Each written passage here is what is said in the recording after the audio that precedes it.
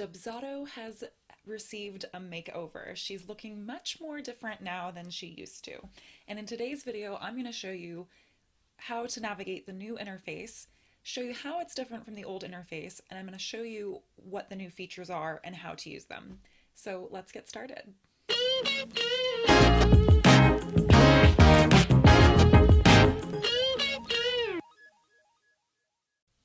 You don't know who I am already, my name is Rae and I run Productive Co. I help small business owners unleash the power of an automated client management system by using Dubsado. So let's get started on the new Dubsado interface, shall we? So this is the new Dubsado interface and isn't it sexy? We have new features on the first page of the dashboard. So you can now set a financial goal for yourself so you can see um, your target every day um, and monitor how you are doing towards reaching it. Um, this next section here is called Open Invoices. You can see um, what invoices you've sent out but haven't been paid yet. There's also this brand new feature um, called the Revenue Indicator. Um, it's if you hover over this little question mark here, it tells you that um, it will compare your previous month's income to your current month's income. So you can see if you are ahead or behind um, where you were at this time last month. There's also this wonderful new feature um, called Recent where you can see a few um, notifications here that are super helpful. So you can see if anybody has missed a payment um, from the due dates that you set inside of payment schedules. So you can see any overdue payments from the moment you log in. You can also see if um, your clients have signed their contracts, um, but you have forgotten to countersign. And then you can find any recent updates just by clicking the release notes. I don't have a calendar hooked up here, but you can um, connect your calendar and you can view it in a few different formats, whether that's um, an overview, monthly, or weekly. Um, you can also monitor your financials, and you would do that by um, selecting a time period that you want to look at, and then another time period you want to look at to compare. And it will show you um, a chart. One month will be blue and the other month will be red, so you can see how they overlap each other. You can also create tasks right here. So that's super helpful. Um, you used to be able to click on your logo name in the upper right and access your brand settings from this drop down box. Um, has moved that. Settings are now inside of this cogwheel icon. Um, a couple things have moved in here. Um, branding was always in here. Um, you now have the option to customize your dashboard. Um, you can choose from these colors currently. In the future, they will probably allow you to select your own branding colors. If you, for whatever reason, decide that you want to um, show your Dubsado dashboard with a client, you have the option to turn the financial indicators off. That way, you're not sharing your financial information um, with anybody else who might see your dashboard. There's portal settings where you can adjust the colors of your client portal and add your banners. Um, multi-users is the same. You can add team members. Um, you can select your time zones. Um, receive money is where you can connect to Stripe. They have also moved invoice templates into receive money. So if you look right here, there's receive and then invoices. And you can choose to either show your company's name on the invoice or your own name on the invoice. And if you want to add something to the header or footer of your invoice, you would just hit edit terms. Also, what's new is you can um, connect your calendar inside of the settings tab now. Connect your email integrations where you can get your API keys, connect to CloudSpot if you are a photographer, um, and connect to QuickBooks Online if that's what you're using to monitor your uh, accounting. This section, domain names, is where you can create your own unique um, domain with your branding and now custom mapped fields are in here. So you can create your own um, mapping fields inside of this tab now. I'll share a link to an article I wrote um, that talks about mapped fields more in depth if you're unsure of what those are. And then there's a general settings tab. This houses a section for date conflicts. So if you specify that a, a project starts at 5 p.m. and finishes at 10, um, clients will still be able to book you on that same day, but at a different time, unless you block the whole day off. Next tab we have is called Projects. Um, this is where all of your clients live. Dubsado calls prospective clients leads. They call your booked clients jobs. And if you click on these tabs here, you'll see your leads. If you click on these tabs here, you'll see your jobs. And then here in combined, you can see everything all together. And then archived would be ones that didn't work out or are past clients. Um, and I only have one test client in here right now, but I'll show you what that looks like. Um, their names and information will populate right here. So I'll just click on where my client is. I can see that I have one lead in there. And this is my test client. For whatever reason, I always name my test clients either Anna Banana or Dolly Parton. Um, so this is Anna Banana.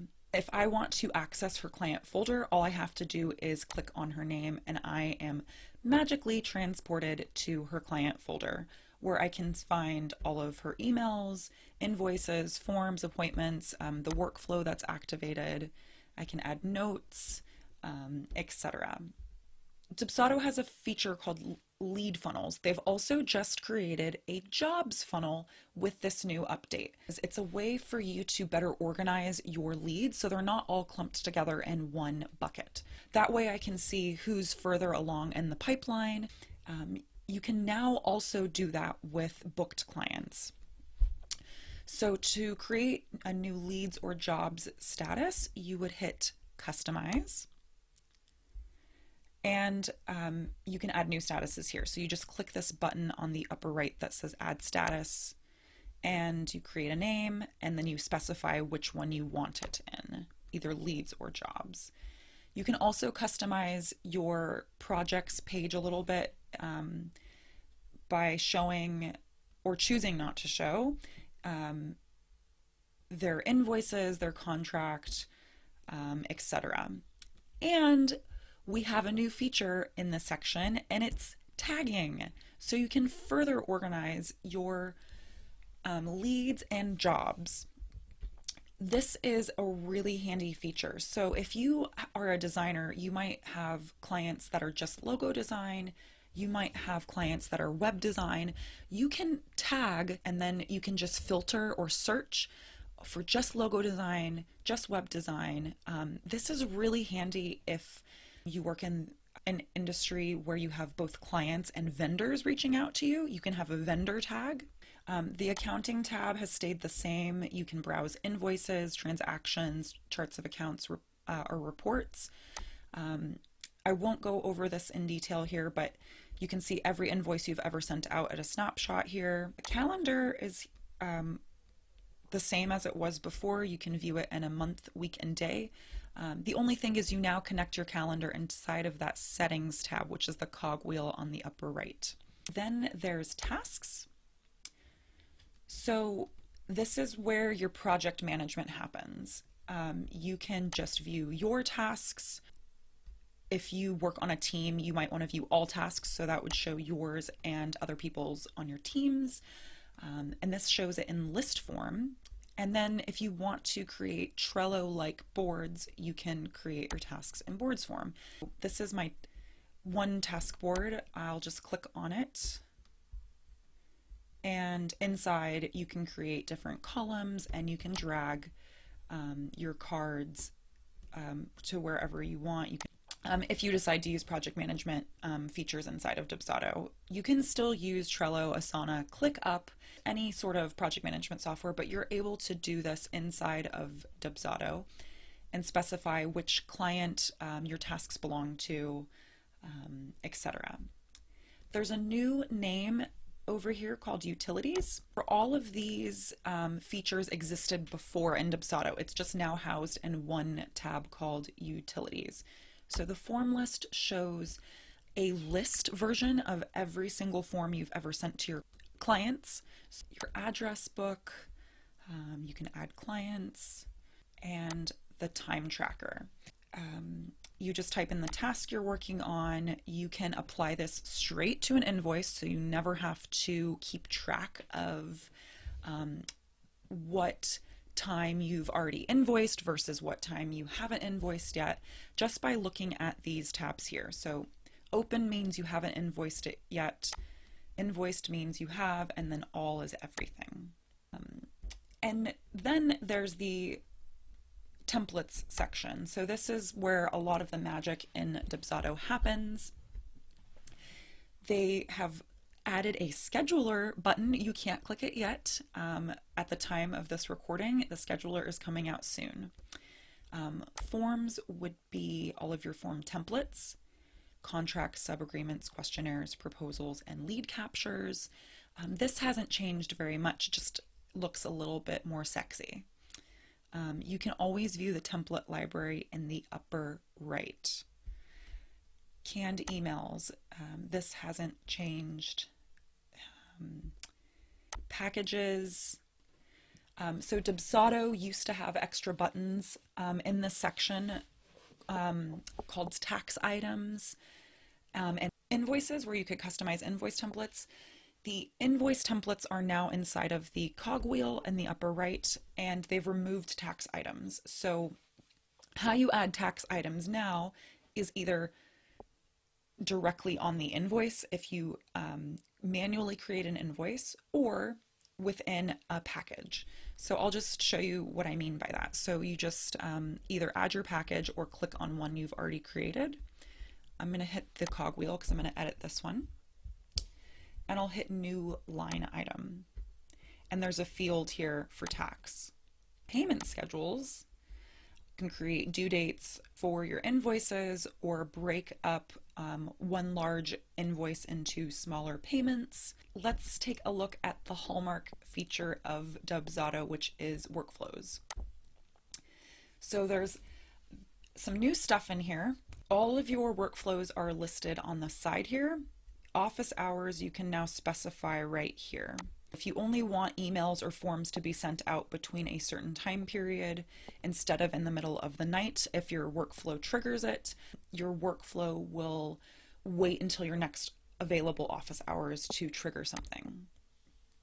So I will click on this um, workflow template I've created to edit it and show you that there's a new feature in here. So you would add an action and you select what action you want to trigger right here. You can trigger tags from the workflows now. Leads and jobs are now inside of um, one section called projects. So that name has changed to project status.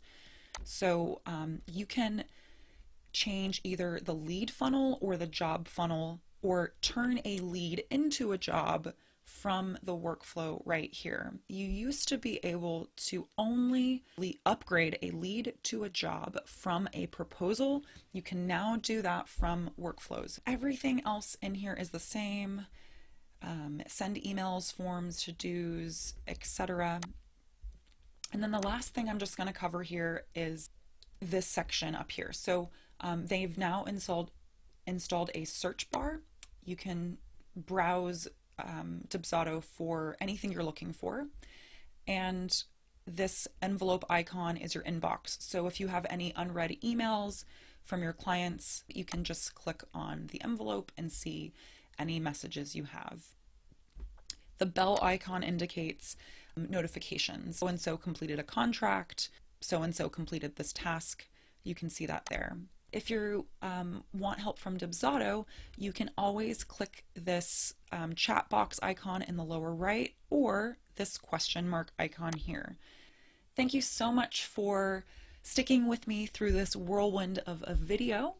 Um, if you like this video, please go ahead and give it a thumbs up. If you have any questions or comments, pop them down below this video. And as always, if you want more help with Dubsado or more tutorials, go ahead and subscribe to my YouTube channel because I make content exclusively on Dubsados. Once again, my name is Rae. Thank you so much for joining me today and have fun with your new interface. Bye.